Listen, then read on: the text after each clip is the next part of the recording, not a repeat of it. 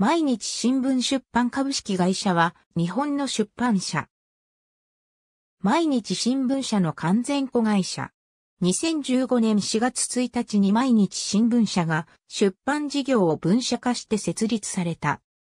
毎日新聞社の全額出資会社で、所在地は発足当初は、毎日新聞東京本社がある、東京都千代田区一橋一丁目一番一号、パレスサイドビル内に所在していたが、同年9月24日、同区区段南の千代田会館に移転した。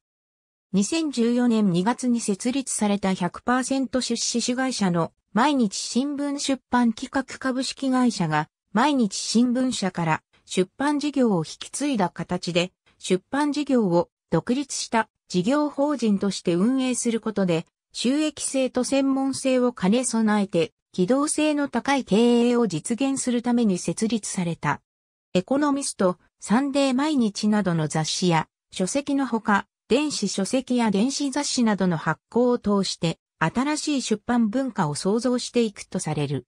いつまでもみずみずしい心を維持できるような出版物を世の中に出すために、100歳までの幸福の追求をモットーとしてスタートした。新聞社の出版部門が分離、独立してできた出版社に、朝日新聞出版、日本経済新聞出版社、産経新聞出版がある。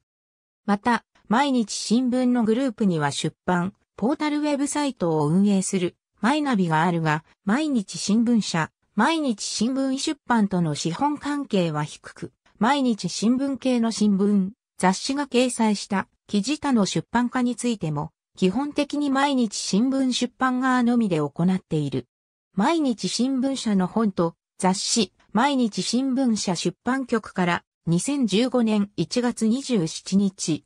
ABC 社国、毎日新聞出版4月設立、毎日新聞、2015年1月27日。新聞課から毎日新聞出版、設立、2015年3月31日。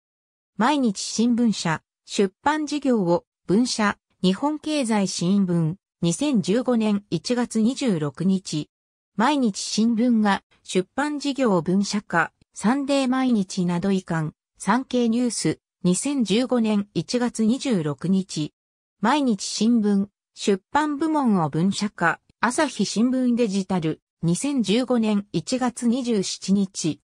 毎日新聞出版全面広告、読売新聞グループ本社参加の中央公論新社は、旧中央公論社の事業全般を読売新聞社が受け皿となって引き継いだ会社だが、同社も便宜上新聞社系出版社のカテゴリーに加わる。その一方で、朝日新聞社もマイナビに出資している。ありがとうございます。